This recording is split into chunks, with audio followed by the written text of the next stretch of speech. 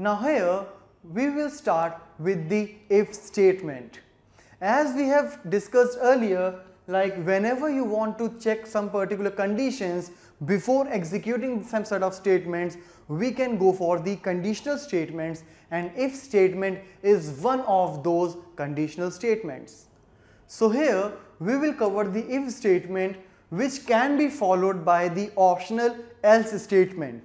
That else statement will be executed when the given condition of the if part is false.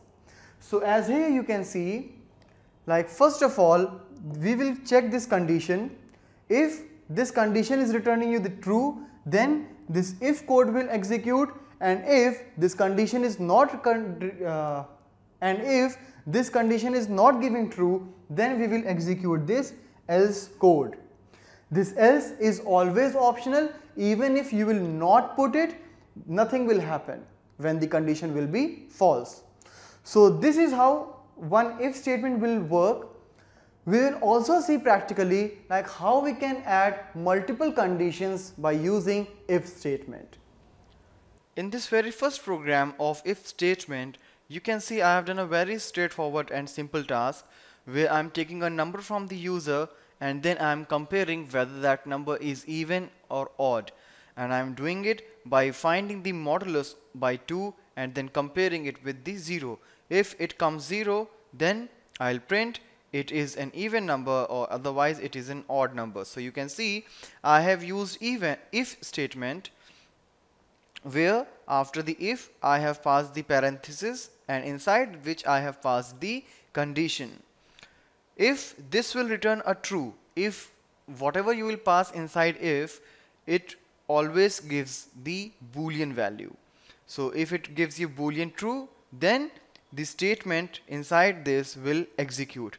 Maybe one or as many as statements you will put inside the if statement but it is never mandatory to put the else statement what will happen if this condition will be true then we will get this line but if this condition is not true means it is false we will not get anything. So let's execute this first. And here let's say I enter a even number. So it is saying it is an even number. And if I'll put any odd like 21 I'll not get anything. So as I said putting else statement is never mandatory.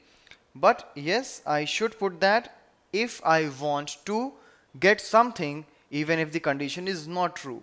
So in this situation I can put an else and now when I'll enter any odd number I'll get the message. It is an odd number.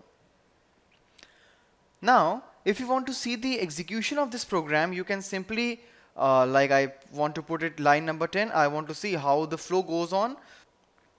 I can simply put a breakpoint right here by just clicking on this particular bar and uh, it is done alright so let's press F5 now rather than control F5 because now I want to find the by debugging so I just pressed it first of all it will take an input from me like I enter 25 now control is in this particular line. If I put the mouse over this, you see num is 25. If I'll put the mouse over this, you see num mod 2 is 1 which is not equal to 0.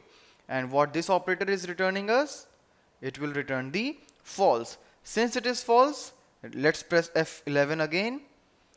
You see it directly jumped here in the else statement and it will print it is an odd number.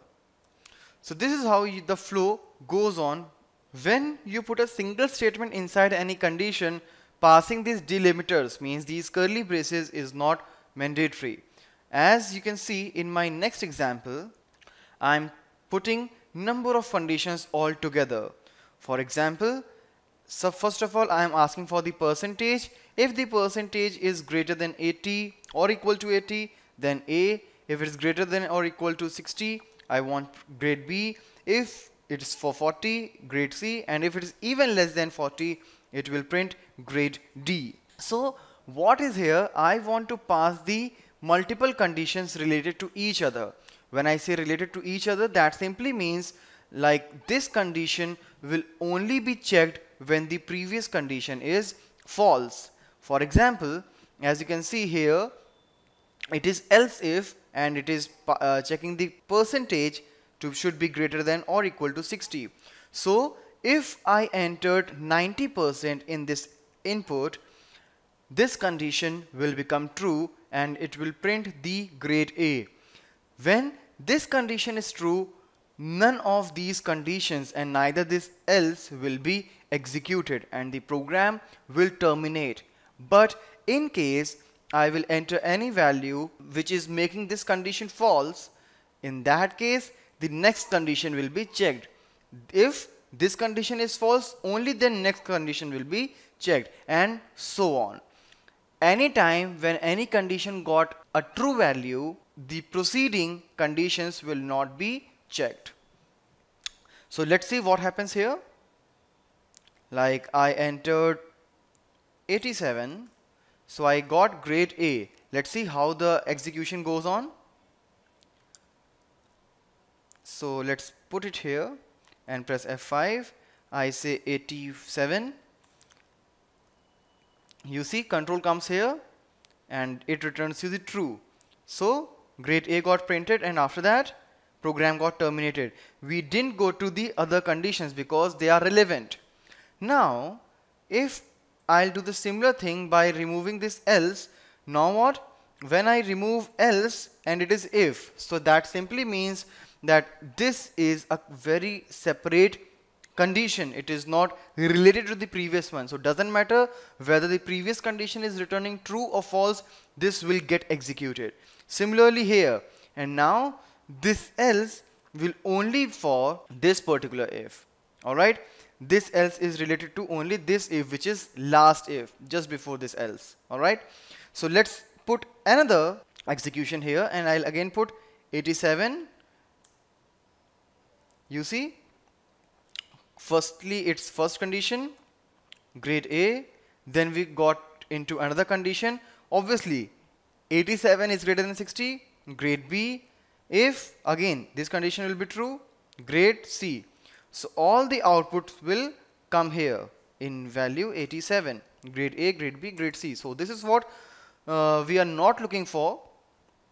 So uh, the previous concept is good enough where I use this else if but you see the difference between the if else if and multiple ifs alright as I said if else ifs are the related conditions and when all the conditions will return false only then this else will work. So this is how you can start working with the if statements.